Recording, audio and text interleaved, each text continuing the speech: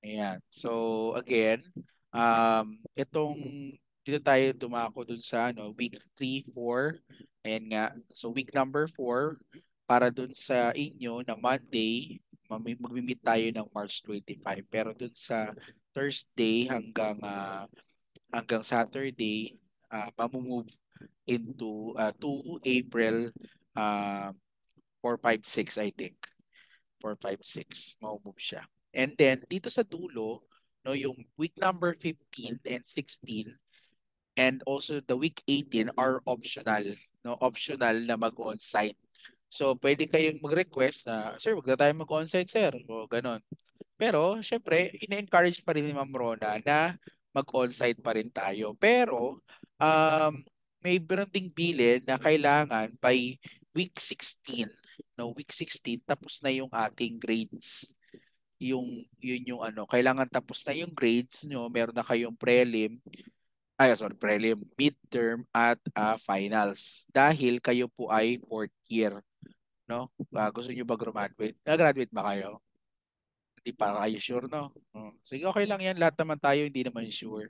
So, huwag kayong kabahan, no? Uh, basta ang ano lang, this ano, week 15 and 16 are synchronous or on-site rather pero uh, optional kung mag-meet pa rin tayo. Uh, and then, uh, kailangan some, during those days, dyan yung submission ng final requirement kung kung output yung final requirement or uh, exam kung exam yung final requirement. On this subject, yung finals nyo will be output. No? So gagawa kayo ng material uh, advertisement, online advertisement and uh, or yung mobile advertisement. Pero uh, yung nakalagay sa ano ko sa sa akin uh, o lahat kayong fourth year ay uh, hawak ko and uh, ang inyong finals will be uh, output na video advertisement. So gagawa kayo ng commercial na ano na medyo mahaba full length na commercial, yung 5 minute commercial. Parang ano, parang if you're familiar with Jollibee, yung mga kwentong Jollibee, ganun klase yung in yung final output. Parang short film, 5 minute short film, pero advertisement. Yun yung out, final output ninyo. So, uh, ito probably yung deadline yan. June, ano, June 10 to June 22 yun yung finals niyan. Dahil uh, kailangan na masubmit yung grades niyo during those dates para makahabol kayo sa uh, graduation. Yan. Hopefully, hashtag PICC 2024. No? Um, now, I'll stop the record, I'll stop the, sh the sharing. Ah, paano na yung mag-stop sharing dito? Gulo-gulo kasi ng Zoom. Anyway, so now uh on ano on our first meeting on Monday, yan magsisimula po tayo ng alas 6. No, alas 6 sa PUP yan, sa COC. Yung room pa ano lang ako, uh, Nathaniel, pa tanong na lang kay Ma'am Rona kung ano yung assigned na room natin kasi walang binigay sa amin na assignment, room assignment. Ang nilagay lang sa akin ay ano, yung schedule. Pasuyo na lang ako para alam din nung ano, alam din. And um, ano pagka walang binigay na room, kung bahala na, hindi kasi pwedeng bahala na dahil nga merong checker eh during those time. Sana makakuha tayo ng room na mayroong ano, mayroong uh, projector. Kapag wala, pag wala, ano pa pa-help ako maano makausap si Sir Francis, makahiram tayo ng projector under ng AdPR para may projector tayo. No? Ayan. Kailangan kasi natin ng projector during those ano meetings para hindi tayo hirap. May mga TV sa sa COC kaso ewan ko kung ano bakit nasisira yung ano yung mga computer ano sorry mga monitor mga TV sayang ayun okay and during that time on on March 18, no, yun yung ating first meeting na on-site. I'll need you everyone to please bring one by one picture.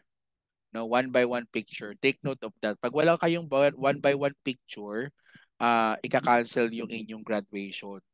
No hindi kayo ga-graduate dahil lang wala kayong one by one picture sa subject ko. No one by one picture please lang no yung one by one picture nyo po one by one make sure na one by one picture naman no wag naman yung two by two gugupitin ninyo as one by one yung ito lang yung nakikita sa ano nyo sa mukha ninyo mukha kayong ano ay yung mukha ng paper na nagkataon. So, ayan, yung maayos lang na one by one. Huling ano na yan, huling huling sem nyo na ako, di ba? So, ano na. Bagay, nung, nung 2 by 2 nga, maganda, 2 by 3 nga, okay naman yung inyong, ano, yung inyong mga pictures. Okay. And then, um, mag, ano lang kayo, ready lang kayo kasi nga, meron tayong mga quizzes this time. Uh, medyo marami-rami yung quizzes ninyo na naka ano, apat yung quizzes na inaabangan. And uh, outputs no? May kasamang outputs yung inyong material. So bagay maano naman kayo ma, mag, marunong naman kayong mag uh, mag uh, ga, mag-edit edit ng mga posters and mga mga print print material eh, yun lang naman yung outputs natin yan and may exam lang para dun sa mga conceptual na uh, topic. And then, um, I'll, let me remind everyone na kapag meron tayong on-site meetings, no, please umattend kayo, no? Umattend kayo kasi yun yung ano, yun ang uh, isa sa wag mataas yung attendance. Ngayon, paano naman sir yung mga on-site, ay mga online meetings natin? Kailangan po ba umattend kami? kailangan nyo ring umattend, no? Kasi, or else, ako lang yung magsasalita. Tapos, di ba, wala kayo. So, uh, parehong may grade yung online and on-site. Okay? And uh, usually, ganito lang naman yung oras natin. Uh, expect nyo na yan kapag online sessions natin, um, 7 tayo magsisimula hanggang or probably 9 hanggang 9. So meron na tayong isang oras na kumbaga binitawan doon sa ano natin, sa classes natin. Ayun. Internal arrangement na lang yan. Pero kumbaga, wag niyo naman sabihin kay Ma'am Pro na, ay si Sir, ano lang, 2 hours na nagtuturo sa amin. Eh, gusto niyo magkwentuhan lang tayo ng 2 hours, di ba? So, gawin na lang natin, ano, um, maximize lang natin yung oras natin. So, for 3 hours, 2 hours tayong magkaklase. Maximum na yon Minsan, mga isang oras lang ako magtuturo. Yeah, depende sa trip ko kasi ako teacher dito eh. No? Ayan.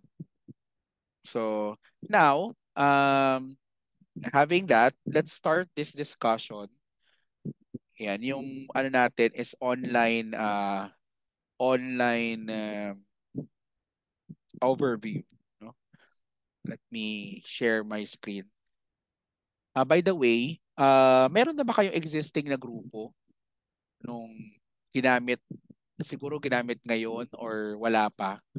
O gusto niyo pa mag mag mag-jumble ulit? Ano bang ano niyo? Uh, sino yung representative or class president niyo last time? Paano ba yung groupings niyo? I need four groups. Pag wala, pag wala kayong nasa isip, ano na lang, pasuyo na lang ako si representative ba gagawa doon o si secretary? May secretary pa kayo? Meron sir. Uh, coordinate ko na lang din po sa secretary sir. Sige, pa-coordinate na lang kay secretary na kailangan ko ng apat na and Or... kailangan ko yung names ng group 1 ngayon, ngayon within within ano uh, within within tonight, no? Ayan. Madali lang naman yun, ano lang, jumble-jumblein lang niya o kaya ano, uh, 1 2 3 4 1 2 3 4 na lang sa class ano sa class record. Halimbawa 1 2 3 4 group 1 ulit yung group yung number 5. Ayun. 6 group 2, 7 group 3, 8 ano group 4 tapos 9 group 1 ulit. Parang ganoon. Kayo na bahala. No, kailangan ko po nung grouping kasi meron pa meron po kayong uh, meron akong ipagagawa na sa on-site natin para sa group 1. Okay? So, yung the rest, yung hindi naman masasama doon sa ano, doon sa groupings ng group 1, makinig kayo ng ating lesson kasi meron kayong online quiz next week. No? Next week naman, pero hindi naman yun sa Monday. Baga next week pa. Mga, mga Saturday, hanggang Saturday.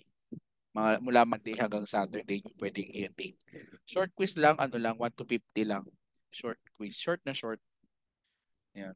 Wala pa, wala pang number. Basta may quiz kayo. No? So, now, grabe no, second, third week pa lang may quiz na. Opo. Kasi po pinilinan po kami na bugbugin daw po kayo. Kasi daw po, hindi raw kayo nabugbog dahil sa pandemya. So, it's time to pay. So, now, anong gagawin ko? Ah, I'll share the screen. Please lang, no? Pagka on-site natin, huwag kayong umabsent ng umabsent, ha?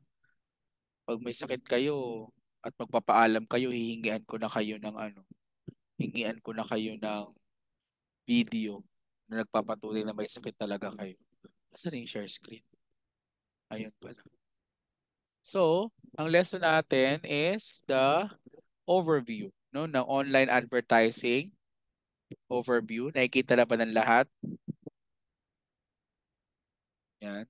Yes po, sir. Yeah, thank you. All right. Saka lang, eh, let me, ano, let me arrange yung screen ko para makita ko kayo, yung reactions niyo. So, this meeting is recorded para pag tinamad ako magturo sa susunod na, ano, susunod na ibang section, meron na akong magagamit. Diba ang galing ko? okay. Tapos sabihin mo, sir, babawi ka. Gusto mo magturo.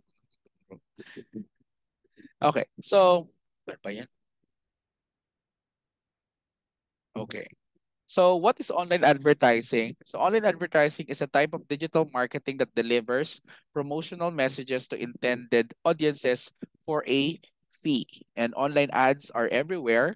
They appear in emails, in search engines, on websites, on social media platforms. So typically, uh, marahil alam na ng marami, pero um, we we talk about online advertising when we use the internet no with the, we use the emails the the tools available in the internet for advertising especially yung emails search engines website and the social media platforms so ngayon in using those uh those tools the email the and the search engines and websites and the social media platforms meron tayong binabayaran doon kaya siya sinasabi, intended audience for a fee. Lagi tayong may binabayaran. For example, in the in the Google Ads, no? Pagka na Google Ads ka, gumamit ka ng Google Ads, merong kinakaltas doon sa um pagka sa ba, sa ano mo sa credit mo or doon sa pera na mer na ini, ipinasok mo sa Google Ads.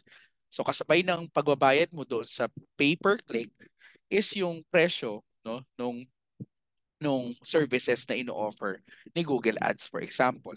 Ganun din si ganun din si Facebook Meta. No, kung halimbawa kayo ay gumagamit ng Facebook Meta or Meta um, Business Suite, ayan, um, when you create social media ads through Facebook ads or Facebook Meta, kinakaltas doon sa ipinapasok yung pera yung serbisyo na binibigay sa inyo ng Facebook. Yan. Ano yung serbisyo na ma- may offer ng Facebook for example? Kasama diyan yung mga analytics, mga metrics, no? At uh, pati yung pagde-decide no ng pag-create ng advertisement mo. So para tinutulungan ka ni ni tool no ni Google or ni Facebook na mag-decide kung paanong design or sino-sinong audiences yung iyong um, sisendan or makaka-receive ng iyong advertisement. It is a good tool, especially now, since napakamahal na at uh, masyadong kakaunti yung way para makapag-advertise ka sa tri-media. Halimbawa sa television, sa radio at sa newspaper. So mahabang proseso at hindi hindi madaling ma-access yung ating uh, yung yung ganon yung yung advertisement sa Trimedia. So as practice, pwede ka makapag-practice sa pamamagitan ng mga online uh, digital marketing tools, no? Katulad ng Facebook at ng Google Ads. So technically, sabi doon, online ads are everywhere. Yan, it appears in email, search engines, website, and social media platforms. Kapag gumamit ka ng internet, for sure, meron kang advertisement na uh, ma-encounter unless gumamit ka ng mga uh, ad blocker na website, yung mga, sorry, mga search engines na merong ad blocker. Katulad lang ng Brave. No, sa Brave na, ano, Brave na uh, search engine, makikita nyo na walang ano, walang advertisement kasi binablock niya yung mga advertisements. Ngayon, iaalaw niya yung advertisement kapag pinayagan mo siya na mag-ads, no? Ngayon, may maka, may makakamit meron ka namang matatanggap na rewards sa Brave kapag inalaw mo yung advertisement. Hindi katulad ng Google na automatic nakakatanggap ka ng mga advertisement even in search in search ano, in searching yung ranking, no? ay makaka-encounter ka talaga ng advertisement. So, the intent of the intent, the intent of online ads is always to persuade the target audience to to take a specific action. Ang kaibahan, no, ang kaibahan ng uh, ng online ads with the tri-media ads, yung television, radio, and newspaper, itong sa tri-media, specific lang, isa lang yung yung action na gusto nilang mangyari bumili ka, no? Ngayon, because of interactivity sa online uh, at internet, ang nangyayari is merong iba pang actions na nagiging available na pwedeng gawin ng audiences natin. So, anong katulad nun, no? Yung pag pag-fill up ng form, 'di ba?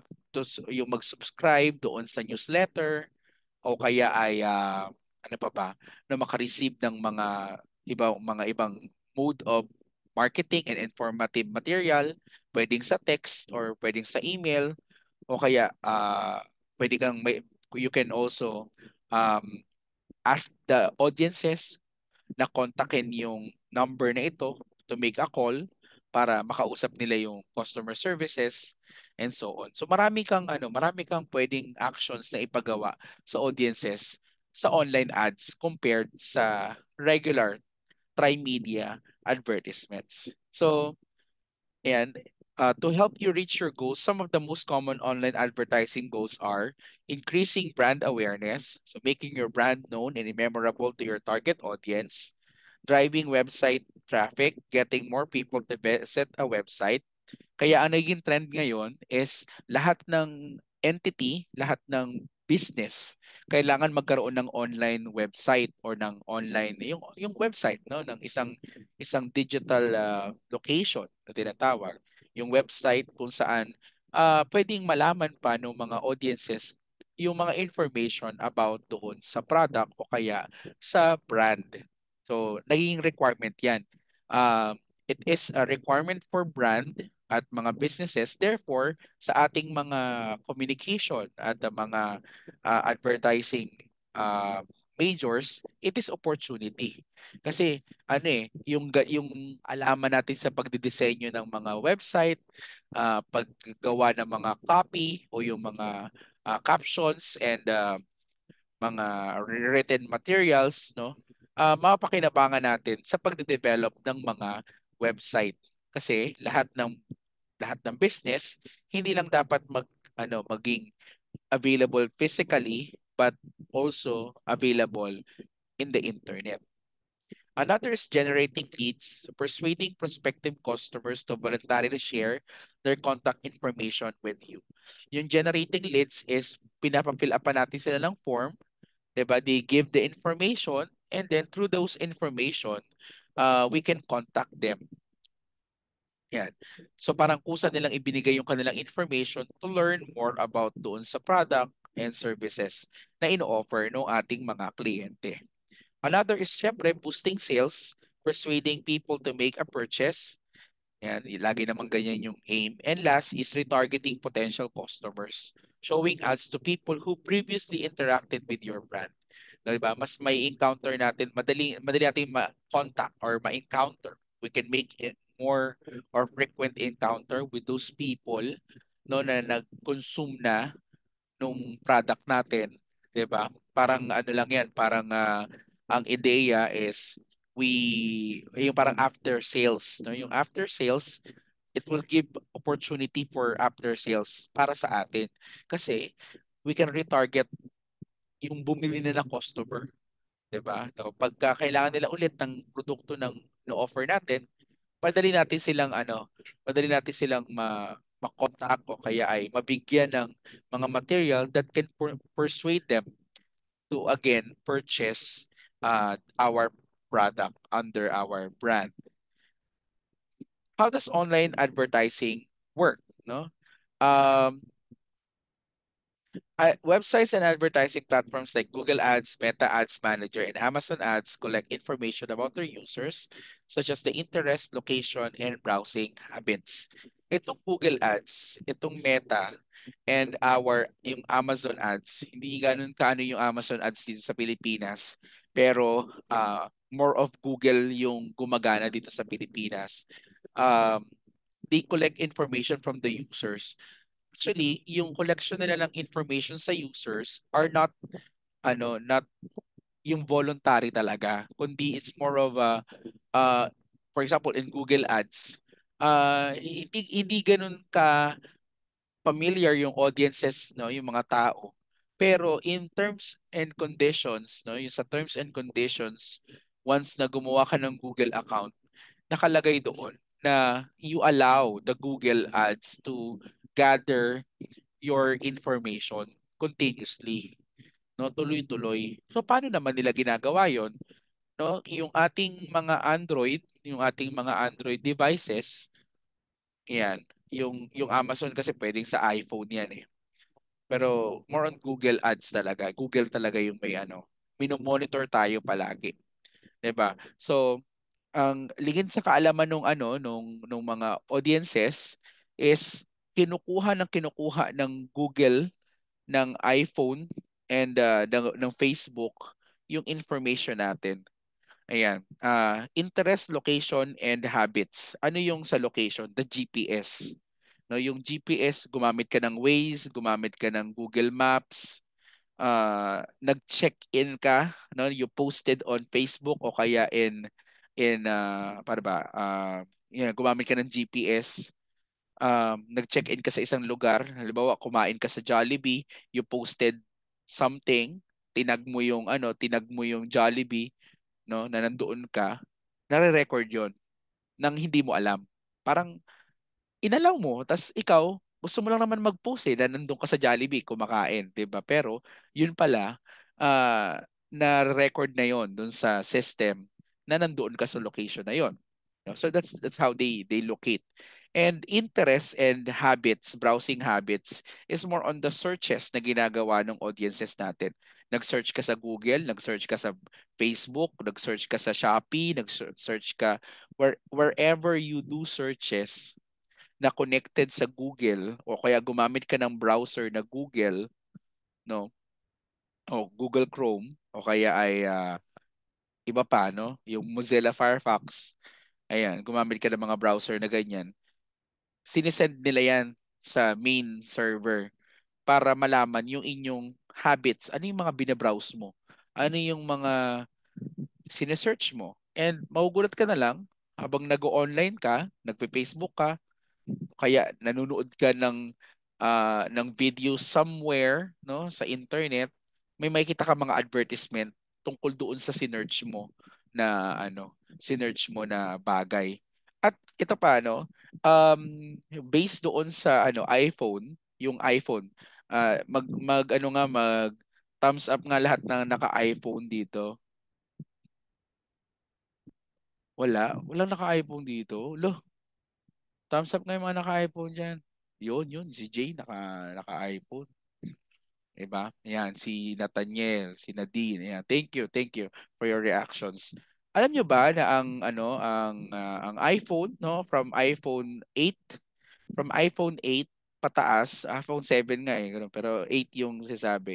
8, iPhone 8 pataas is capturing infrared picture, no? Ka capturing infrared images every 5 seconds. No? Kina-capture niya yung yung ano, yung yung nakaharap sa kanya. Bakit? Because that is to monitor no? That is to monitor kung nakatingin ka talaga doon habang ginagamit mo yung iPhone. No? So pinagsasama-sama nila 'yan. Understanding ano yung nasa screen and saan nakatingin yung mata mo. No? Capturing. Ang ano ngayon, ang ang iPhone, they cannot detect yung ano, they yung iPhone, hindi nila kayang i-detect yung location ng mata mo ng real time. So ang ginagawa nila, every 5 seconds, nagpi-picture sila ng infrared just to monitor kung nakatingin ka ba o hindi. O anong ginagawa mo. Kaya ginawa yan ng ano, kaya ginawa rin niya ng iPhone is for the purpose of yung meron tayo ngayon, yung yung kaka kaka-launch lang nila ng iPhone, uh, Apple Vision Pro. No, yung Apple Vision Pro.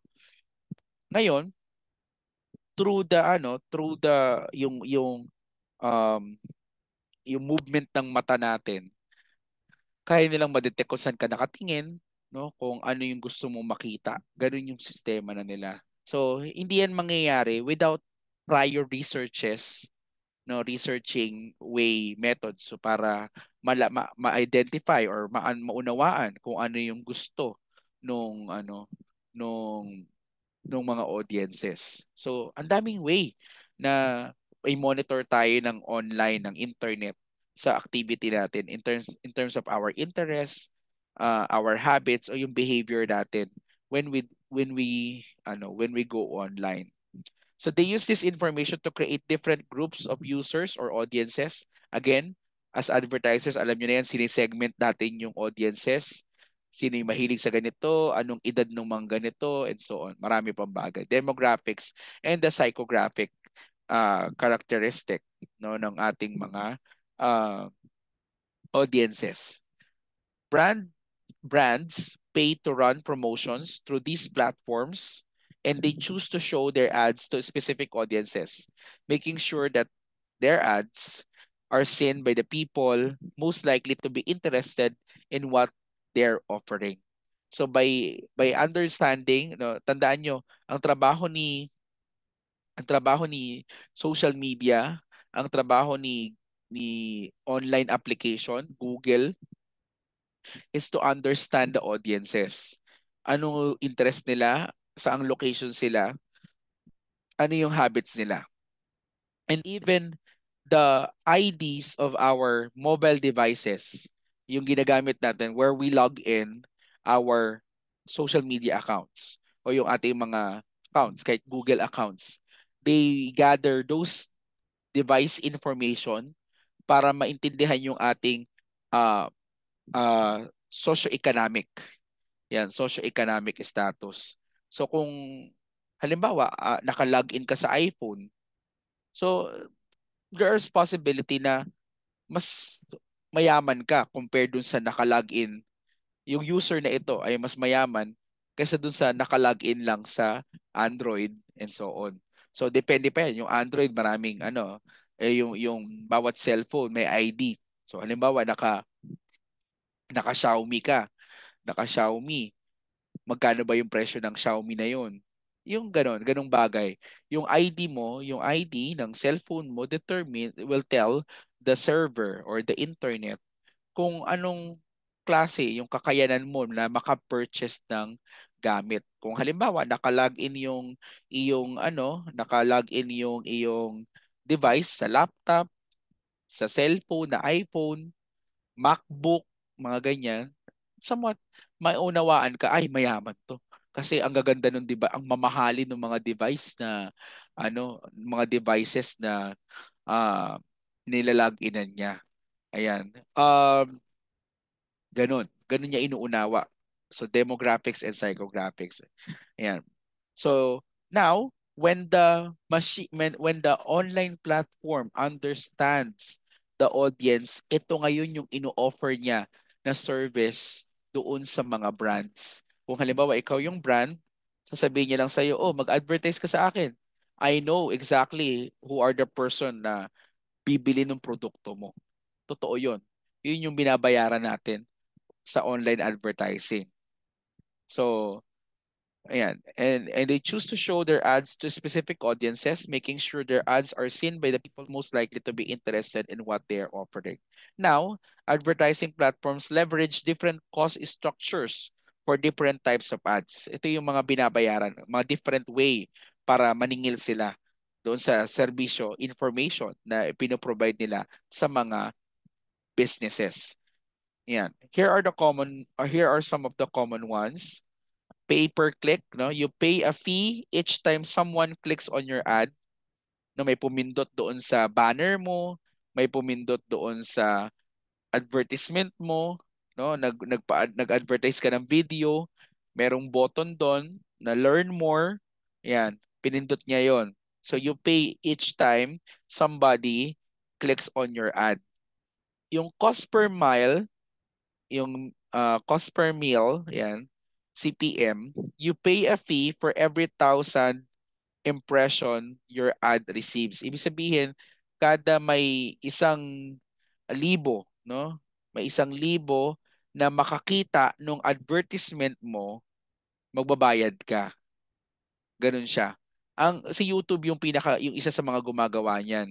'Di ba meron kayong ano, meron kayong pag nanood ka ng YouTube, ang mangyayari is nanonood ka, after sabi natin mga 5 seconds or tama ba? 5 seconds to 30 seconds biglang makakat yung panonood mo may lalabas na advertisement. Yan. Skippable ads naman yon no? Skippable ads. Pero yung skippable ads na ganon uh, kada isang libong beses na makikita yon sisingilin ka ni YouTube pero isiset mo naman yon pwede mo iset yon kung pay per click ka or paper ano mill. Ayan. CPM yung tawag diyan. Ngayon, yung cost per install, so you pay a fee each time someone installs your app. Ang gumagawa niyan si Google Play Store or si App App Store, no, yung Apple App Store. So every time na may mag-install ng application mo, magbabayad ka. Ayan ang, ang gumagawa niyan yung mga ano, yung gumagawa niyan, alam niyo yung matalamak dito sa Pilipinas, yung mga mga gambling, yung mga sugal na application, yung mga ganyan, one one ano yun, XBet ba yun or basta ganoon. O, Sabong International, yung ganoon. Basta yung mga ganyan, mga online casino yung tawag nila. Mga online casino, casino app. Yan pag in-install mo yung application, magbabayad ka. Kasi ibig sabihin, magbabayad ka, magbabayad yung business, no? Magbabayad pag may nag-install ng application. Bakit? Kasi po, opportunity 'yon para masingil mo sila. Parang ganoon, pwede kang kumita pag na-install na yung application mo. Yung cost per lead, you pay a fee for each lead your ad generates. Yung ano, yung yung ads mo, no, merong either fill up the form o kaya go to this website. Ayan, pag pumunta sila dun sa website na yon, pinindot nila yung ano, learn more o kaya uh, visit us. Ayan. Pag pinindot mo yon, yun yung cost per lead. Ibig sabihin, dahil pinindot, yung pagpunta sa lumabas lumabas kumbaga lumab nanonood yung audience lumabas siya doon sa website sa YouTube pumunta sa website maniningil ngayon yung yung Google doon sa business owner o ito merong ano merong nagpunta sa website mo because of the advertisement that we shown Naintindihan niyo ko? Okay pa kayo? Thumbs up na kung okay pa kayo. Yan. Thank you. So last is the cost per view. You pay a fee each time your video ad is viewed. Ang pinagkaiba nung ano, ang pinagkaiba nung nung cost per view at yung impression, no, yung yung CPM is that uh, yung may certain duration duration para sa ano impression. Yung impression basta umere, oh, oh sorry, basta na ipakita yung advertisement, skippable siya. In-skip, counted yon No, 5 seconds. 'Di ba gano'n naman usually 5 seconds. After 5 seconds, you can skip the ads. Pinindot yung skip. One impression 'yon. Ang cost per view, ang pinakamababa sa Google is 15 seconds. No? Kailangan 15 seconds siya na panoorin. Kapag ka napanood ng audience na 15 seconds na, let's say 20 seconds na siyang nanonood, in-skip niya pa rin, bibilangin na yon kumbaga ika-count na yon sisingilin na niya si business owner. Kasi na-reach na yung certain duration 15 seconds of the advertisement ang napanood. Kung in-skip niya yon walang problema doon basta sisingilin ka namin. Pero kung halimbawa after the nung lumabas yung you can skip na can, yung skip button 5 seconds pa lang in-skip niya na hindi na yun sisingilin So kailangan meron siyang ma-meet na certain ano duration. Si Facebook ay ano 30 seconds si Facebook. So 30 seconds dapat na panoorin niya muna yung video para maningil si Facebook Meta. Okay. So the process of running online ads varies based on the type of ad you want to run, its cost, structure, and the platform you want to run it on. So nakadepende po yung paniningil sa'yo sa structure na binili mo. Ngayon, yung structure naman ng yung pamimili ng tamang structure ay nakadepende naman sa advertisement na na ano mo uh, na ng brand mo, ng product na binibenta mo. Halimbawa, may brand na ano, may brand or may mga products na kailangang i-view yung video, no? Kaysa kesa yung kapag ka yung aim niya ba, yung goal nung ano, yung goal ba ay uh, gusto mo lang ipapanood more on brand awareness lang. Hindi mo kailangan ng ano, hindi mo kailangan ng per lead. Kasi nga ano lang eh, brand awareness lang. Kailangan lang nila mapanood yung advertisement. So, cost per meal yung pwedeng gamitin doon. Yung, yung maganda ron. Pag halimbawa naman, more on pamimili ano naman nagbebenta ka na ng produkto no uh, let's say uh, magbebenta ka ng produkto tapos uh, mabibili mo yon magagawa yung purchase gamit ibang website gamit yung website sa ano labas ng ng platform pay per click yung mas effective sa ganun no ma, pipiliin mo lang kung saan ka hindi lugi or mas makakatipid Ganun yung sistema. Kasi nga, hindi lahat ng produkto, iisa lang yung structure. Hindi pwedeng ganun. Kailangan nakadepende no, dun sa advertisement na ginawa natin. Depende sa aim. Okay? sorry, sorry ha.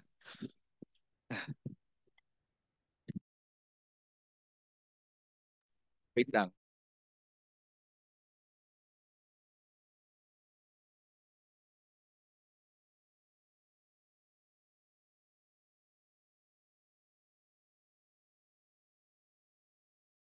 Okay.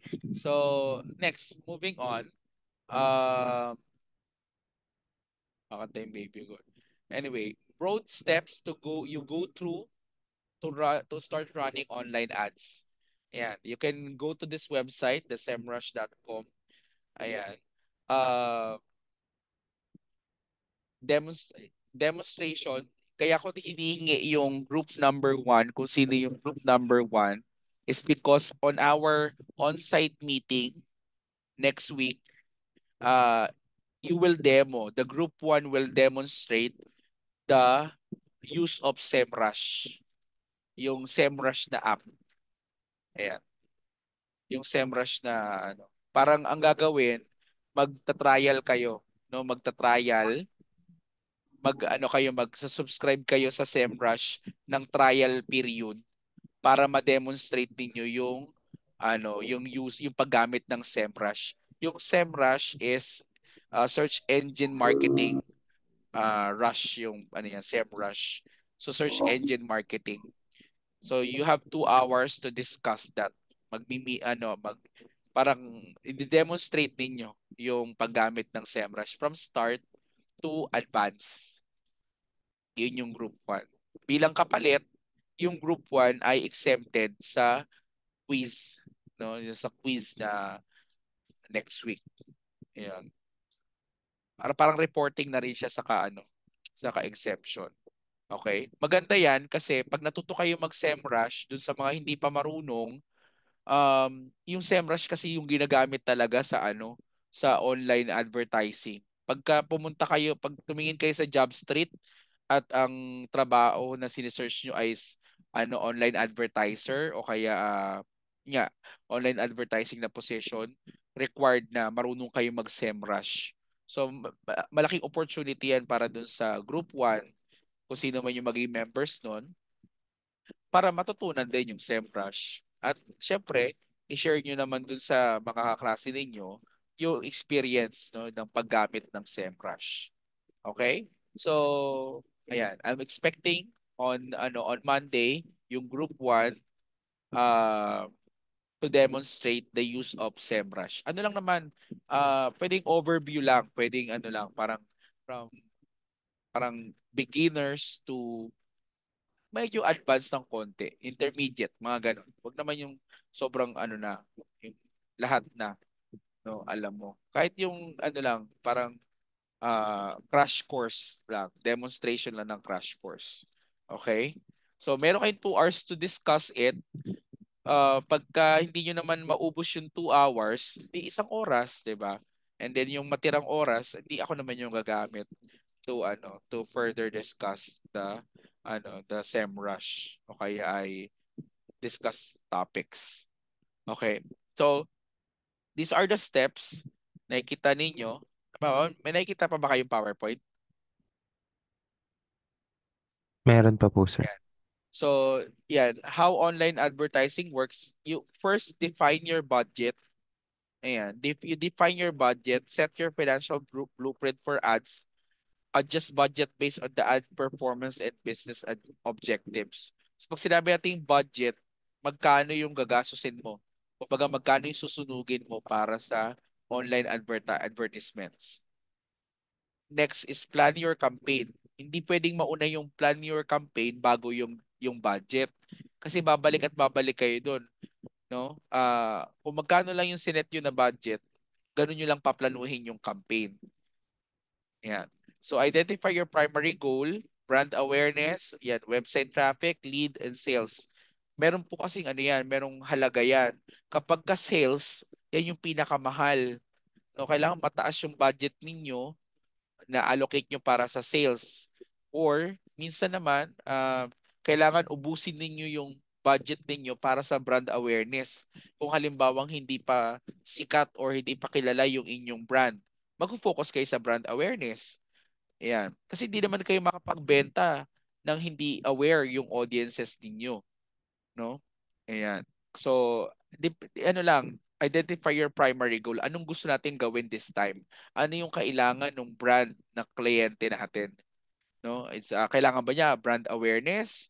Kailangan ba nila website traffic, no? Leads, kailangan nila ng information, 'di ba? Parang ano lang 'yan, parang halimbawa um nasa ano ka, nasa networking ano ka, business ka. Hindi mo kailangan ng website traffic. 'Di ba? Ang kailangan mong pag-focusan is more on the leads, no? Maka maka ano ka ng form, mag, mag makapagpa-fill up ka ng form, you get the information, ikaw ngayon yung magko-cold calling tatawagan mo itong mga possible customers na ano, possible na mag na bumili ng franchise o kaya net yung pagiging part ng network. Ganun siya. So, nakadepende yan. Identify your primary goal. Understand your target audience needs and goals and choose the right ad platform and ad type. Hindi po lahat ng brand ay bagay sa iisang platform. Halimbawa, hindi lahat ng brand okay sa Facebook 'di ba? Kasi nga may mga brand na mas pabor, mas okay sa TikTok. Ma, 'di ba? Uh, live selling. Pagka mga product na live selling, okay naman yung Facebook Live pero mas ano eh, mas maganda yung platform ng TikTok ano, TikTok Shop, no? Yung mga yung TikTok na platform. Ayun. Mas okay na siya kaysa sa Facebook. Pwede kang doon na lang kaysa ipilit mo yung sarili mo sa Facebook na wala ka namang audiences. So you have to choose the right ad platform and ad type. Kung halimbawa ikaw naman ay uh, online online na sabihin online shop para kang may Shopify or Shopee or Lazada uh, Lazada shop. More on ano ka more on website traffic ka no? Yung pupunta sila doon sa uh, Shopee shop mo tapos i-add to cart nila yung uh, yung product mo. Website traffic naman yon okay? So after planning your campaign you have to create the ads yan saka ka palang gagawa ng advertisement craft a clear and engaging message pwede yang moving or still images pwede ring video no um nakadepende yung yung ads na gagawin mo doon sa napili mong platform. Halimbawa, Instagram. Eh sa Instagram, more on images. 'Di ba? Ang YouTube, ang TikTok, ang uh, Facebook, more on video. So gagawin mo video, hindi ano, hindi picture, 'di ba? Ganun siya. So you have to ano, create the ads based doon sa uh, ad platform na gagamitin mo include a strong call to action under the create ads. And lastly, apply settings and targeting. So yung apply settings and targeting, may encounter niyo yan doon sa online advertising tool. Katulad ng Meta Business Suite, yung Meta Ads, Google Ads, 'di ba? Amazon Ads at um, ayun, mga iba pa, Mozilla, yung Moz na tinatawag, yung Moz sa para sa Mozilla Firefox at yung iba pa. So, through that, ang ang advertising tool kasi parang ano lang yan, parang parang chat GPT. Naka ano lang, yung naka bawat search engine may sariling AI, no? May sariling chat, may sariling GPT. Kasi po, yung server nila na nagko-collect ng data, maganda yung Google Ads. Bakit? Kasi grabe yung monitoring na ginagawa ng Google Ads. Mas worth it magbayad sa Google Ads at mag-create ng advertisement kaysa ipilit mo yung yung Mozilla Firefox o kaya uh, Microsoft Edge na wala naman masyadong gumagamit dito sa Pilipinas. Sa ibang bansa, oo, ginaga- gumagamit sila ng Microsoft Edge, gumagamit sila ng ano pa ba, Safari, pero sa Pilipinas, lahat. 'Di ba? Google mo nga eh, 'di ba? Pag ano, pag meron kang tanong, 'di ba GMG? Ganun ka ano, ganun ka dependent yung mga Pilipino in terms of uh, searching sa Google. Napaka-dependent ng mga Pilipino sa Google. So, dahil ganun, lahat din ng data ang may hawak si Google. So, mabibigyan kanya ng ano, ng tamang correct, no, correct information, tamang information. So adjust settings like budget, bidding, schedule, and ad placement. Yung ad placement, yung budget, uh, budget per day, yung bidding naman is the price per click. No, yung, yung presyo kada pindot. Ayan, bidding yun, binibid mo yun. Parang ang kaya mo lang, ganitong halaga lang, So, gano, ganito lang rin karaming audiences yung maaano mo, ma-encounter mo, yung makakapakita, makakita ng advertisement mo. Okay lang yun. No, yun lang yung budget mo eh. So, nakikipag-bid ka. Uh, pati yung keywords, no? Through keywords, nagbibidding ka. Mas maraming keywords, mas mahal. Pero kung isa lang na keyword, pero na, ano, effective yung keyword, o yun na lang gawin mo no hindi ganoon kamahal pero tamang keyword naman ganoon yung ano ideya diyan schedule is yung oras uh, alam niyo si Facebook ang kaganda ang maganda kay Facebook Meta 'di ba when you create a page aalamin niya kung anong oras kayo bukas yung open hours ninyo operating operation uh, operating hours ninyo automatic yun pag nag-advertisement siya uh, nag-add siya nagpapalabas siya ng advertisement during your open hours. Hindi siya mag advertise ng hindi nyo oras. Halimbawa, yung shop nyo nag, nagsisimula ng alas 11 ng tanghali. Tapos, nagsasara kayo ng mga ala una ng madaling araw. So, ang advertisement nyo, is ano, automatic 11 ang start at hanggang alauna ng madaling araw. Actually, kasama 'yon, no? Kaya nga sabi nila meron daw nakaka-receive ng mga final order, pasara na pero nakaka-receive pa ng mga order kasi hanggang ano, hanggang alauna yung yung pag-a-advertise eh hanggang alauna lang rin pala kayo. Eh paano kung nakita niya ng 12:45? Di 15 minutes mo pa bago mo anuhin. So ang sikreto nun, kapag gumagamit ka ng online advertising uh, tools is meron kang ano, yung open hours mo, meron ka pang tinitira na isang oras para do sa business mo, no? Yun yung naiintindihan niyo ba ako? Okay pa ba kayo? Pareho tayo tayo inaantok. Magano nga kayo mag-react nga kayo, ganun, heart nga dyan. Show me your heart. Yan. Yan, thank you, no? Thank you at nandyan pa kayo. 7.58 na kasi, no? Tulog na yung mga matanda. Para dun po sa mga estudyante ko na hindi makakapanood, hindi ko matuturuan. Especially mga Sabado, no? Kasi birthday ng baby ko sa Sabado, sa Sabado eh. Kaya hindi ko kayo matuturuan. Pasensya na kayo. Ayan recording muna kayo. Ayan. So what are the benefits of advertising online? Ano bang benefits no? Para pakinabang nitong on advertising online? Precise targeting. No, number one is the precise targeting. Walang kasing precise, no? Kundi online, uh, walang kasing precise ang online advertising. Sobrang ano, sobrang naunawaan na tayo ng ng machine, no? yung machine learning na tinatawag Sipin mo lahat lahat nung ano, lahat nung reactions mo when you go to social media o kaya nanonood ka ng TikTok halimbawa, nanonood ka ng video sa TikTok, yung mga pinapanood mo, no, a piece of that is being transferred to the server telling something about you. Ah, trip mo to. Kaya mo siya pinanood. Kaya siya nag-stay ng matagal dun sa screen mo plinay mo pa ng paulit-ulit. 'Di ba? Ganoon naman lagi ang TikTok. Pagka natapos na siya mag-play, magpe-play siya ulit, 'di ba? Or yung Reels, yung ganyan. Um, through that the machine will understand you na ay ito pala yung trip niya. Ganito palang mga klaseng palabas yung gusto niyang panoorin. At ikaw wala kang ano, wala kang wala kang wala kang effort no in doing that in teaching the machine to understand you. Basta galaw ka lang ng galaw. No? Nood ka lang ng nood, papanoorin mo kung ano yung gusto mong mapanood, i- i- i-slide mo pag ayaw mong mapanood. And the machine, no, the cellphone natin, the portable device that we have is doing the job. Porting it dun sa mother server, sa main server. So ganun lang siya.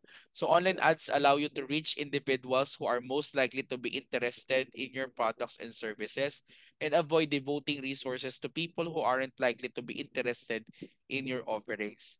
Um, dito sa Pilipinas, lahat inaalaw kasi natin. I mean, uh, tatanungin ka niya, will you allow the application to use your location? Ikaw naman, wala kang pakialam. Sige na, gusto ko na magamit. Yes ka lang ng yes.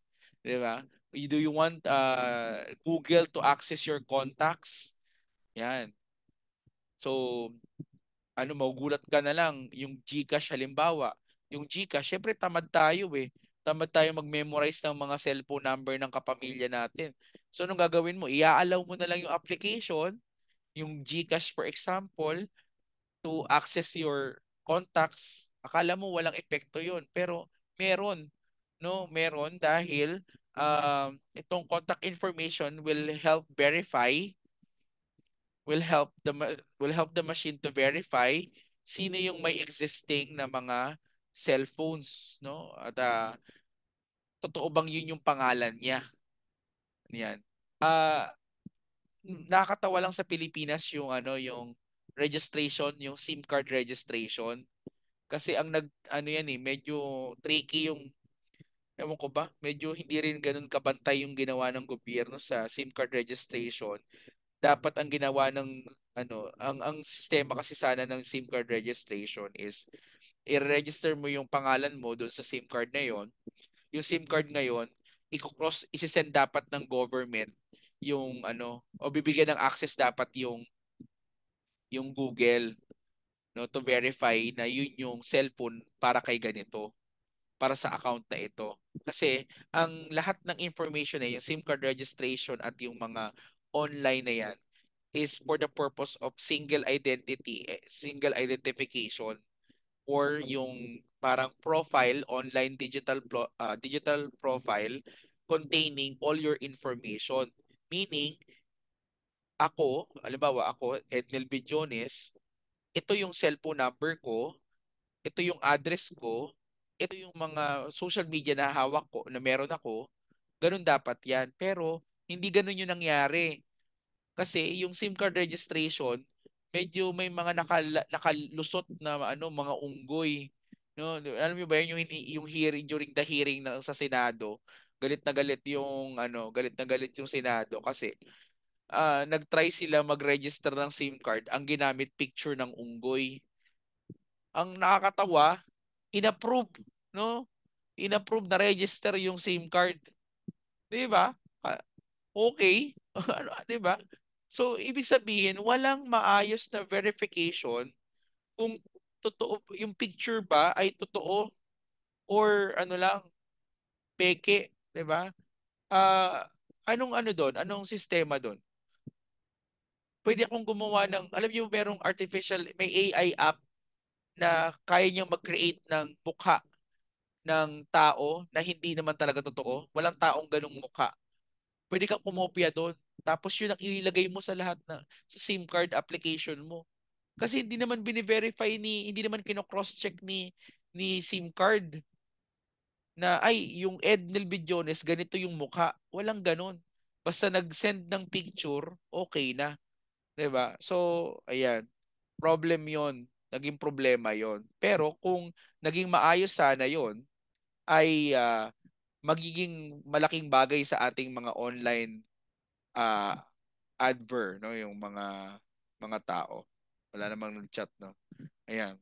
So sabi diyan, this uh, interested in your products or services and avoid devoting resources to people who aren't likely to be interested in your offerings. Yan. Uh, reactions, no? Reactions ng ng Facebook.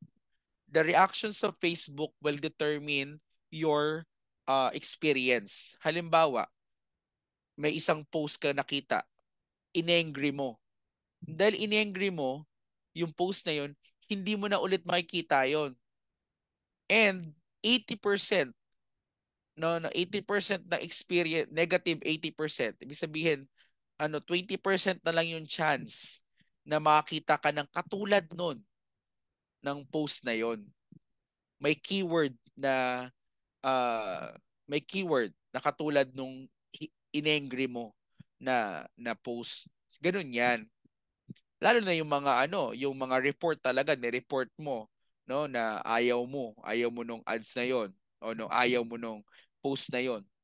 Hindi mo na makikita 'yon kasi ni-report mo eh pati yung sad, no? Halimbawa na sad na, na merong post, no? Meron ka nakita, no? Parang condolence, ganyan. Syempre ikaw, sinad mo, sad. Dahil ano, dahil sad yung reaction mo at hindi care, hindi ka na hindi ka na makakakita nun for a certain duration.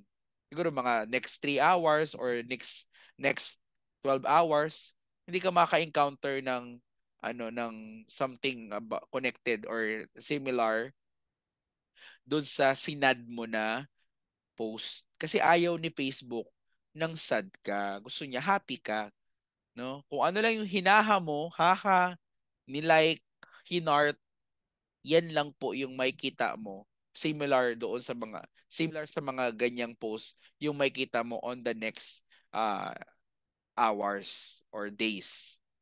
Yon So pati yung ano no, tagal natin, yung tagal natin sa panonood. Ayan. Uh, pag matagal, no, yung matagal matagal na nag-play. Grabe yun. Yun na talaga. Alam mo, ako example ko diyan, na-encounter ko yan eh. Um, isang beses, di nagba-browse ako ng cellphone ko, no, nanonood ako ng mga mga mga video sa cellphone.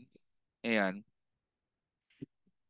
Ngayon, pagka-browse ko, pag-scroll ko ng ganon, ang lumabas about sa ano yung yung artificial na prosthetics ba tawag doon? Yung basta yung artificial na paa para dun sa mga lumpo.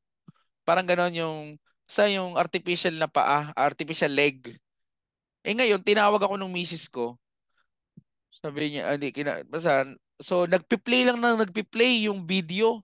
Paulit-ulit. Siguro, tagal din eh. Siguro sabihin mo mga mga 30 minutes no? Bago ko na ano bago ko na nalipat. Yan. Basta nagpi-play siya nagpi-play tapos tumigil na lang siya. Siguro pagod na no? Ah ang sumunod na mga araw parang limang araw puro na-receive na advertisement tungkol sa ano tungkol sa ganun. Sabi ko pati ito yung mga advertisement na na-encounter ko? Hindi naman ako pilay. Hindi naman ako lumpo no? Hindi mayroon naman akong paa, pero bakit ganun yung nakikita ko? Dahil napabayaan ko na nagpi-play yung video. Ang akala ng machine, akala ng cellphone ko, eh, interesadong interesado ako. Siguro akala niya nag-iisip, eh, bibili siguro to, nag-iisip lang. Ganon. Ganon yung nangyayari. Kaya may ma-encounter kayong ganyan. Ba't parang puro ganito? Pagka puro Jollibee, puro pagkain yung advertisement sa'yo, malamang mahilig ka kumain. Ayan, ganun. Mahilig ka sa mga video ng ganun. Ayan, mahilig yung mga pampatulog yung luto. Naalala niyo yung mga time na ano, time na yung mga Indianong madudumi, yung yung nagluluto sa yung mga mekus-mekus. Ayan.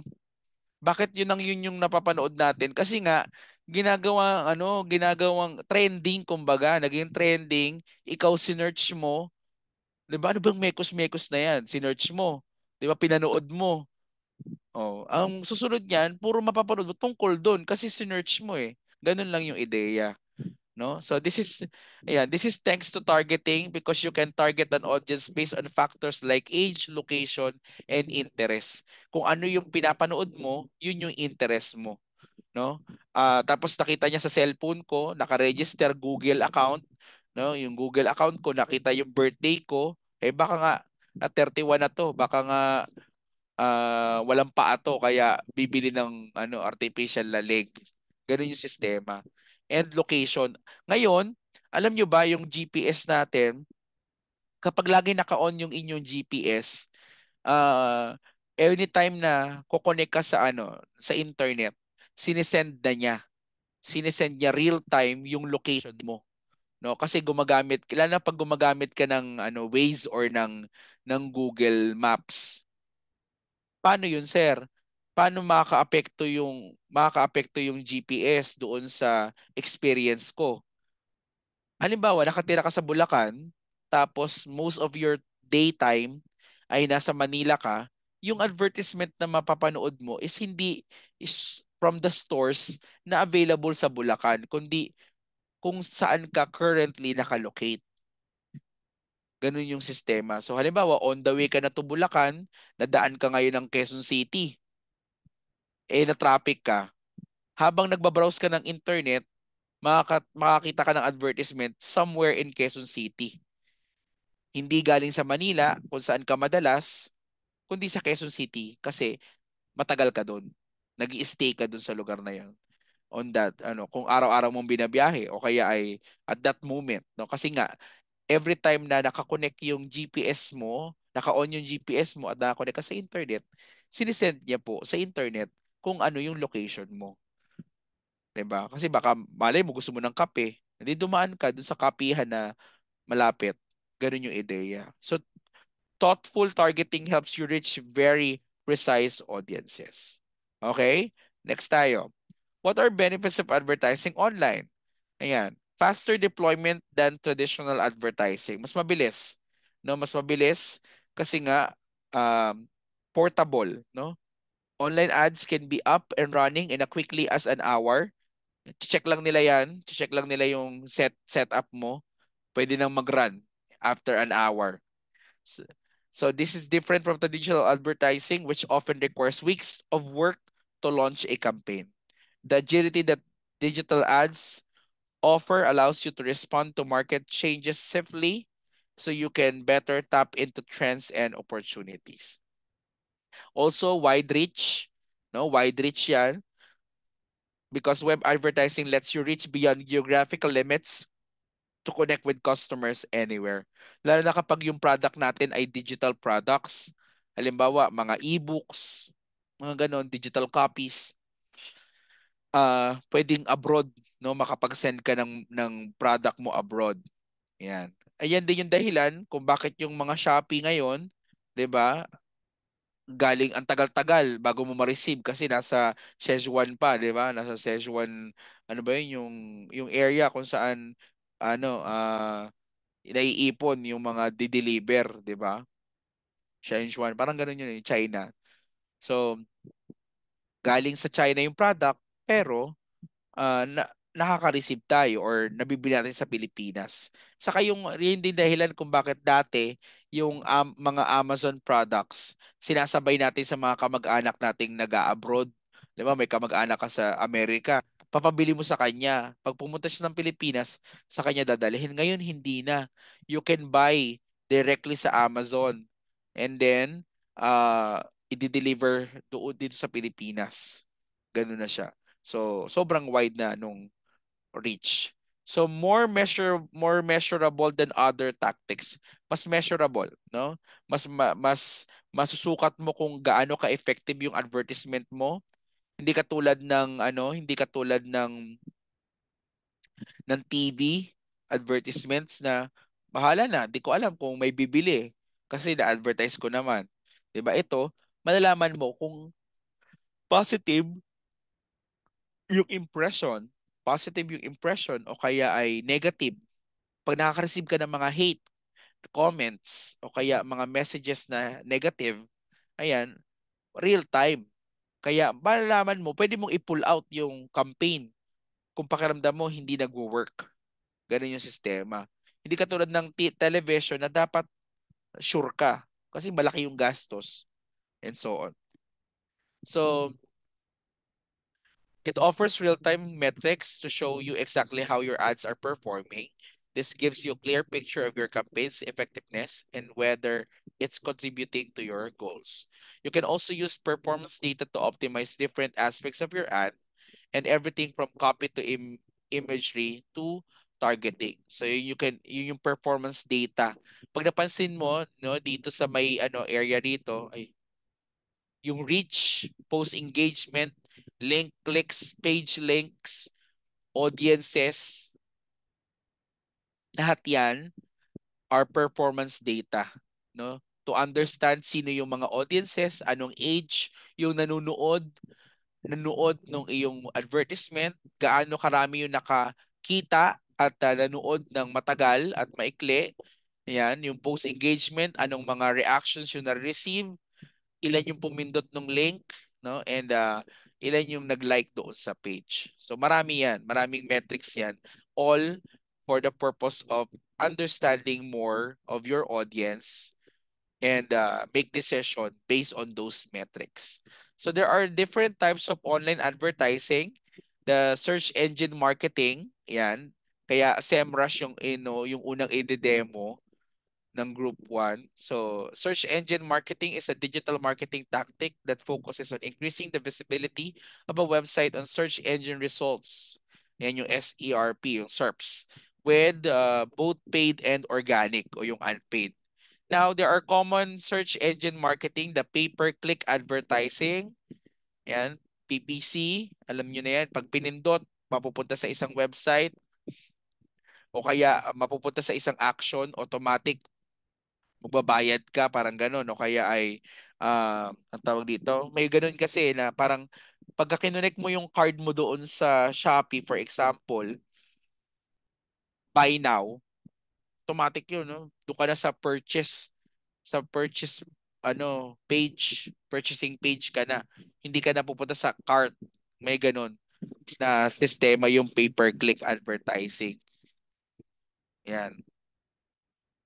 Then, we have the product listing ads. Yung product listing, siguro better if i-open ko tong ano, itong web page and then um, ito yung i-share screen ko para meron kayong sample kung anong itsura ng mga sinasabi ko.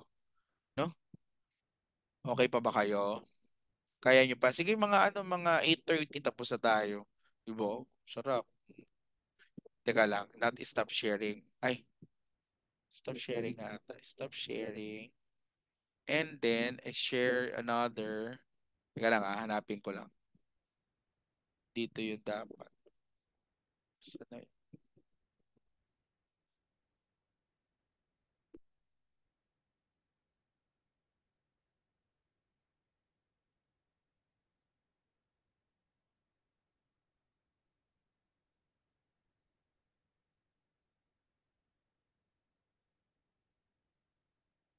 Wait lang ha. Uminom muna kayo dyan kung kayo'y nauuhaw. Kung kayo'y nauuhaw, uminom.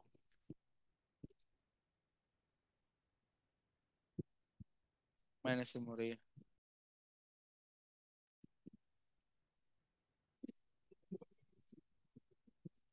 Ayaw.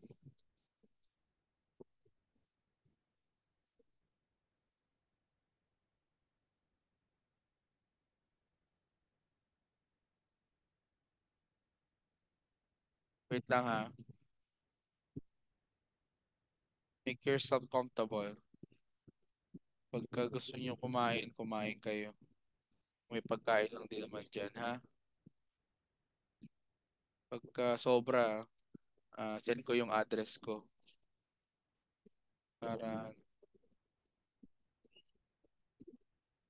para makatikim din ako ng pagkain ninyo. Sarap ba ulam nyo?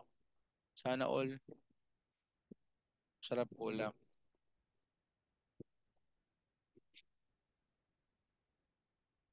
Wait na.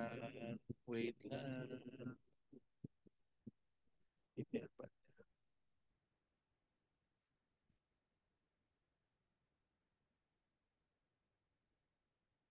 Buhay pa ba kayo? Thumbs up nga kung buhay pa kayo. Dili, buhay talaga.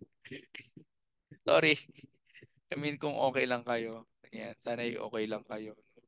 Pasensya nyo na may ubo rin ako eh, no? Kasi uh, alam niyo naman yung panahon.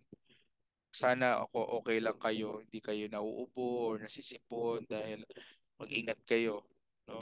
Uh, mahirap magkasakit sa panahon ngayon. Ako, mahirap pagka nagkakasakit. Pangit na nga ako. Nagkakasakit pa ako, di ba? Ano na lang. Ano na lang eh, nil, di ba? So, ayan, yung mga maganda, dahil maganda naman kayo, hindi okay lang magkasakit. Pero sa mga pangit na katulad ko, walang lugar para magkaano. Grabe naman, sir, hindi naman. Anong hindi naman? Hindi naman kayo pangit, ako lang. Ayan. So, so, I have here the types of online advertising sa nakikita nyo. And uh, we have the pay-per-click advertising. Usually, uh, it's a form of advertising that often focuses on search. So your ad can appear in the results when users search for a specific keyword. So this is more on the tinatawag nating search rank, no, yung search results ranking SRR. So nakita nyo sponsored o kaya yung ngayon ang gamit na niyan is ad no naka-ad may ad na ano. Pag nag-search ka ng keyword, lalabas is yan yung or first na mga results may sponsored. Ibig sabihin, they paid so that when you search for the keyword, sila yung nasa ibabaw. So, part yan ng SEM, ng SEM, Search Engine Management, or Marketing. So, makikita nyo muna siguro minsan lima, limang advertisements muna ad with sponsored rather. And then, uh, after that, saka pa lang yung organic results. After that, ay, another is yung product listing. Halimbawa, naghanap ka noise cancelling headphones. So, makikita nyo ito, yan agad, sponsored. So, kadalasan yan, iisang platform lang yung gumagamit, yung lumalabas. O kaya dominate, domina, uh, dominated ng iisang platform lang. Halimbawa, dito, ano, nag-search siya ng noise cancelling headphones. So, meron lumabas. And then, yung link, mapapansin nyo, um, yung iba, iisa yung pinag ano Shopee lang halimbawa o kaya Lazada lang. Yung iba naman uh, iba pang mga website. Again, depende yan kasi nagbabayad, no? Yung pagbabayad nila ng uh, para maging listed. Ayun, maging listed. Kaya na kaya mahal ako no pag nag-search ako ng ganito, noise cancelling headphone, ang ginagawa ko, i-search ko siya sa ano, i-search ko siya sa sa Google and then i-search ko ulit siya doon naman sa ano sa mismong platform halimbawa Shopee o Lazada. Pero ang gagamitin ko ng keyword itong keyword na na ito. Bakit sir? Kasi po may chances na itong presyo rito mas mahal kesa doon sa platform. May mga nag-o-offer doon sa platform sa Shopee for example ng mas murang halaga sa magka, sa katulad nitong product. Kaya siya nagmahal kasi po ipinapasa ng business owner yung presyo doon sa mga possible buyer. Naintindihan niyo ako? Huwag kayong bumili dito sa ano sa listing kasi mahal 'yan. Mahal 'yan. May, may mas murang katulad niyan kapag sinearch niyo na siya mismo doon sa platform, doon sa Shopee or sa Lazada. Ayun, ganun yung ideya. Kung naghanap pala ng, ng idea and then nag-search ka pa rin sa platform. So yun yung ano no, yun yung product listing at yung uh, pay per click. Yan ang search engine marketing.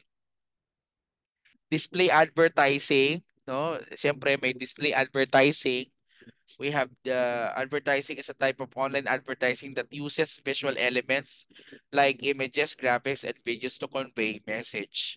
So examples of display advertisement are the banner ads. Banner ads are ads that typically appear at the top or side of a web page.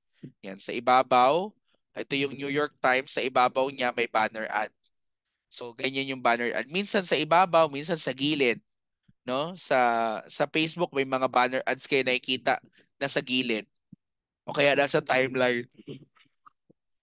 And then, we have the video ads. Siyempre, yung mismong video, no? Yung mismong video ay uh, pinapakita niya. Ayan. In-app ads doon sa advert doon sa alam mo nag sino yung ano tam, alam niyo yung Bilibili yung Bilibili Bilibili Bili-bili kang matunaw ang taba. Alam mo ba, yung, yung, ano, yung bili-bili. Doon kami nanonood ng mga ano, doon kami nanonood ng mga anime. So pag nanood ka ng bili-bili, may makikita kang mga in-app advertisement. Bago ka makatuloy ng panonood, kailangan mo munang panoorin yung advertisement o kaya kailangan mo na i-ekes yung advertisement. May mga ganun. So ibig sabihin nasa application. Kadalasan yan si Shopee, Bilibili, uh, YouTube, ano pa ba? Uh, basta application. Uh, halimbawa yung ano natin, yung yung cellphone natin, yung Android mismo, yung yung file manager, ayan, may in-app advertisement yan minsan o kaya yung mga libreng PDF viewer. Marami yan, no? So, lumalabas lang siya sa mismong ad, ano application. Yan. And of course, we have the social media advertising. Under social media advertising, the paid social media ads, Yan allows businesses to promote their content directly to a targeted audience on a specific social media platform. So kada social media platform merong ads manager or ads management tool yung ano na yon, yung platform na yon. For example, for Instagram and for Facebook, we have the Meta Meta ads or yung Facebook Meta ads. For YouTube, we have Google. Ayan. Um, I believe yung Google siya rin ang may hawak ng Twitch. Kung familiar kayo sa Twitch. Um, and other mga connected pa doon. Uh, si sino pa ba? Ayun. Sila lang yung mga may hawak niyan. More likely na sila yung mga may hawak mga application. Ayan. Mga social media na mayroong. Si TikTok, no si TikTok ads may sariling TikTok ads na hiwalay na siya sa ano, wala. Wala na, hindi hiwalay siya sa Facebook Meta at sa Google Ads. May sarili si TikTok. May ano si TikTok uh, TikTok ads. Ano pa ba? Si Twitter, sa Twitter, may ads kayo na encounter kayo Twitter, di ba? Ngayon, meron ng ads. Dati wala eh. Yung sa X, meron ng advertisement sa X ngayon eh. Hindi katulad dati na wala. So another is the influencer marketing. Um, influencer marketing is under social media advertising. Bakit? Kasi sumikat lang itong mga influencer through the social media. So yung influencer marketing, ginagamit natin, binabayaran natin mismo yung influencer to feature our product. Ganun yun. Gagamitin nila yung kanilang yung produkto natin. O kaya, alam ba si ano Ninong Rai, si Ninong Rai papadalhan ni Magnolia ng mga chicken, 'di ba? Yan, mga influencer yung ganyan. And another is the email advertising or inbox advertising. Inbox advertising is more on meron kayong makita sa messenger ninyo yung page na pindot ninyo, no? Biglang may magme-message sa inyo if you want to learn more about our products, inbox messaging, uh, inbox advertising yung tawag doon. Kumbaga chinachat ka o kaya yung dati uh, napansin niyo yung mga cellphone natin nabawasan na ngayon yung mga spam messages yung ano manalo ng milyon 'di ba ganyan manalo sumali sa sabong ganyan So nawala na yan because of the SIM registration. So hindi na magamit yung inbox advertising masyado sa Pilipinas. Ang ini-inbox advertise ngayon ay Messenger o kaya yung ano ba ba? Yung mga platform na ano dati dati yung Google merong ano eh yung um yung chat no yung yeah um basta yung parang chat Google, sa Google Plus, sa Google Plus. And then uh, sa TikTok may message na rin ata may direct message na rin. Yun. So inbox advertising 'yun. And then the newsletter ads, ito naman yung mga sa email. Sinisend na kayo ng mga mas mahabang uh, mga informa- informative material. And lastly, syempre yung native advertising. So sponsored content, ayan, promoted listings, and uh, ayan, last na yan, promoted listings. So ang mapapansin nyo sa promoted listing, isa siyang listing pero hindi nasa search engine, nasa mismong uh, application. Parang halimbawa sa Lazada, no sa Lazada, pag binuksan mo yung Lazada, may mga nasa home page na mga product. So ang tawag doon is the promoted listings. So mas prioritize sila no? Mga nasa naka-sale, ayan.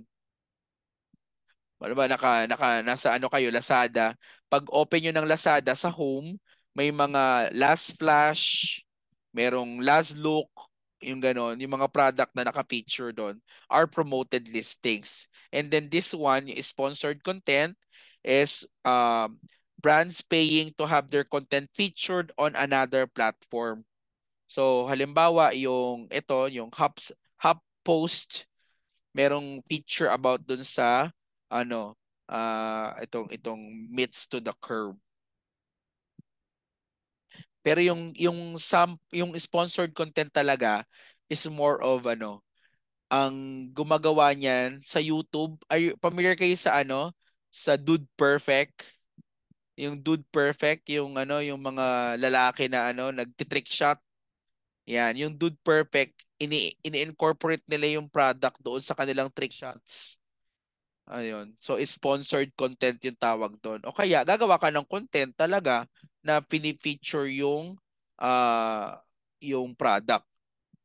Magkaiba yun. Ano, pareho lang siya halos nung nung influencer ano is influencer uh, marketing o yung influencer ano naka-term dito influencer marketing. Kaso pag sponsored content, yung mismong ano, yung mismong let's say GMA, no meron silang programa unang hirit. Halimbawa, feature doon yung inyong product at in-upload sa kanilang channel. So, hindi na siya influencer kasi hindi naman influencer si GMA eh o si unang hirit kundi ano more of content creator na ano na ano talaga for broadcast. Yun yung pinagkaiba. Kapag ka entity yung nag-feature doon sa product, it's more of sponsored content. Pero kapag influencer ang nag-feature ng product, it's influencer marketing. no? Yun lang yung pinagkaiba nila. Okay? And uh, I'll stop the sh- sharing and babalik ako sa ano sa PowerPoint. Hmm. Gandang-ganda kayo sa boss ko. Inaantok na kayo, no? Ikaw inaantok sa di naman kami.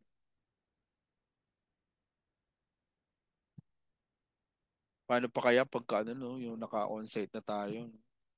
Mga turulog na kayo. Pagka Monday, ako lang ba klase nyo or meron pang iba? Meron pong isa kanina, sir. Ayan, very good. So, ayun. Sino teacher nyo doon? Sir Felix po. Sir, Sir Felix. That's good. Okay. So, nakikita nyo na yung ano ko, yung screen ko. Yes po, sir. Yan. So, yun na yung last, yung native advertising. Okay? And assignment.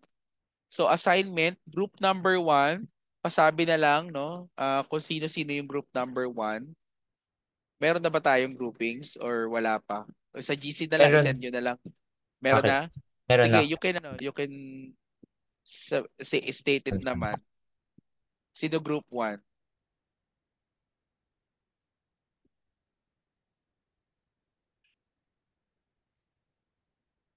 State ko na lang po, sir. Sige, please.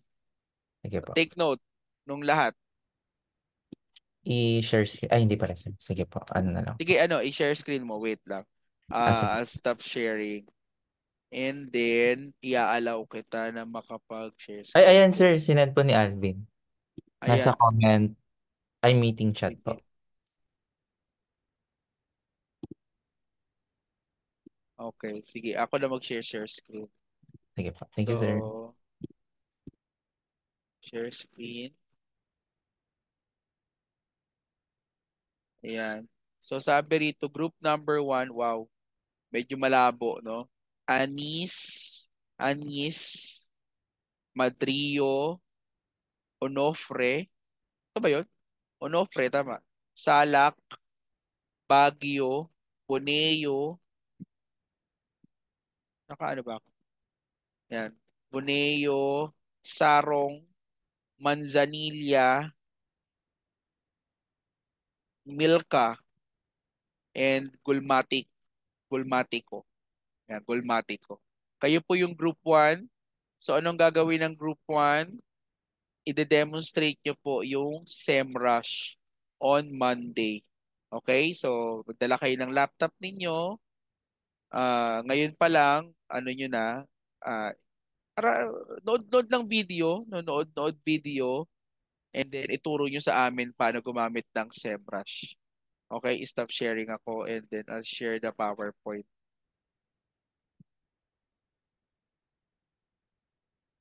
Yan, group 1. So group 1 will demonstrate para dun sa ibang section. No, group 1 will demonstrate the SEMrush and exempted kayo sa online quiz. So hindi kayo mag-quiz. Okay? And all the three groups, kayo po yung mag-quiz. So read these websites and we'll take and we'll take an online long quiz next week. So mag-online long quiz kayo next week. No, yung yung online long quiz ko, mahirapan kayo mandaya doon kasi pagka lumabas kayo ng application, i automatic magsasubmit siya. So ibig sabihin, you have to ano, you have to use another mobile device para makapantaya. Sinabi yung ano, sinabi yung tactic. May isip niyo naman yun eh. Pero yun nga, uh, mag-online quiz kayo next week, yung three groups. And then the group one, uh, your grade will be depend will depend on the demonstration of the use of SEMrush. Okay, madali lang 'yan, no? Mas mahirap yung mga susunod na mga application. Okay? So again, all three groups please read these websites. Sinend ko na 'yan. Itong Investopedia at yung Blog HubSpot, yan yung last week. Yan yung binigay ko last week. Yung semrush.com naman, iyan naman yung ngayon na website. Okay? So, ano na, madali lang yan. Fourth year naman na kayo. Kayang-kaya nyo na yan. Gumagawa pa rin ba kayong thesis?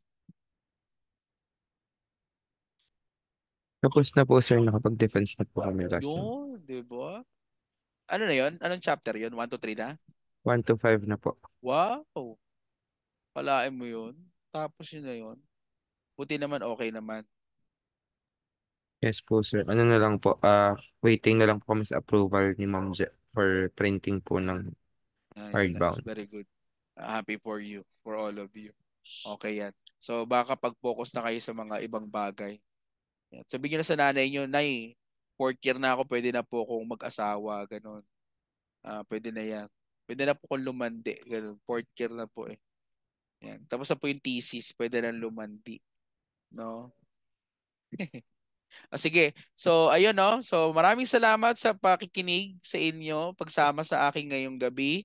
Uh, I hope meron kayo natutunan. And uh, I'll see you on Monday. Uh, mag-ingat kayo palagi. Have a nice day. Have a nice night. No? Good night, everyone. And uh, God bless. Sir, Thank you po, Yeah. sir.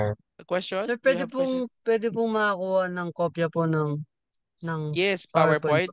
Yes, Yes po, sir. Send salamat po, agad. sir. Sige po, No sir. Salamat po. worries. Okay, I'll I'll stop the ano, I'll stop sharing and I'll stop the recording.